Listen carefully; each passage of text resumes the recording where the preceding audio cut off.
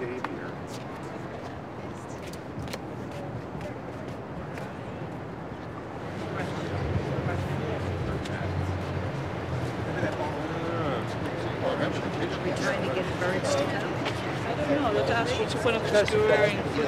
What are what are we doing here?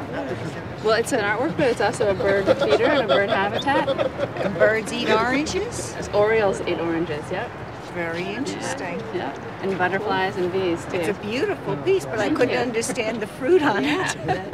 Well, it's a sculpture work, but it's a bird habitat. Yeah, That's what I told you. It's for the birds. For the birds.